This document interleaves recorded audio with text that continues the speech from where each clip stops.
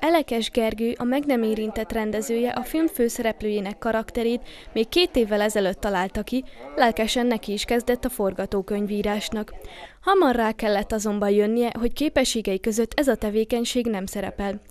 Most azért élethetett újjá András karaktere, mert Gergő rátalált a forgatókönyvíróra, Gallai Józsefre, akit elmondása alapján semmi pénzért nem cserélne el.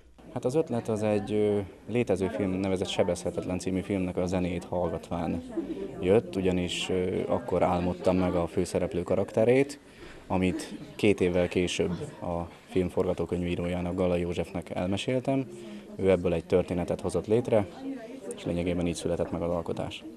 A filmet az alacsony költségvetés miatt egy tükörreflexes fényképezőgéppel vették fel.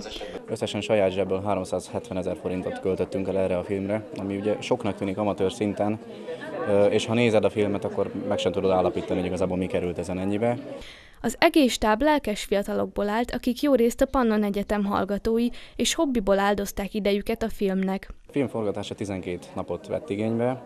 Januárban kezdtük el, január 22-én, ha minden igaz, és augusztus 22-én fejeztük be, egy 9 hónap utómunkával mindennel együtt.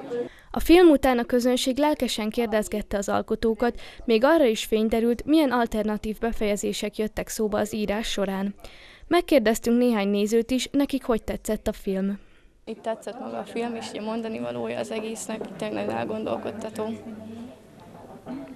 Nekem szintúgy tetszett Gergőt is, mert mivel egy évig szobatársak voltunk, úgyhogy valamennyire láttam is, hogy hogyan készítik vagy vágják a filmet, és tényleg nekem is szintúgy a mondani valója tetszett. Mostanában szerintem elég kevés filmet forgatnak, legalábbis Magyarországon, aminek van valami értelmes mondani valója.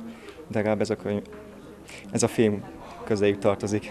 Aki lemaradt volna, ne keseredjen el, október 25-től ugyanis elérhető lesz az alkotás online, továbbá Győrben is lesz még egy vetítés.